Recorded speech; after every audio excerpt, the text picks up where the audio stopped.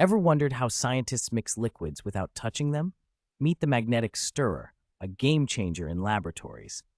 At its core, a magnetic stirrer uses a rotating magnetic field to spin a small coated bar, called a stir bar, inside a container. Here's how it works. The device has a base housing a motor or set of magnets. When powered on, these magnets rotate, creating a moving magnetic field. Place your beaker or flask on the platform and drop in the stir bar. The magnetic field grabs the stir bar and spins it rapidly, mixing your liquid smoothly and evenly. No blades, no contamination, just pure hands-free mixing.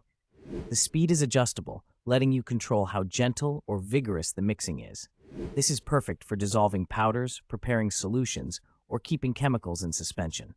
Look closely at the animation.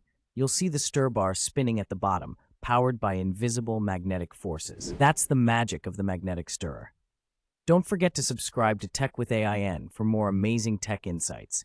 And the subscribe button or text should be seen without any spelling mistake. Channel name, Tech with AIN.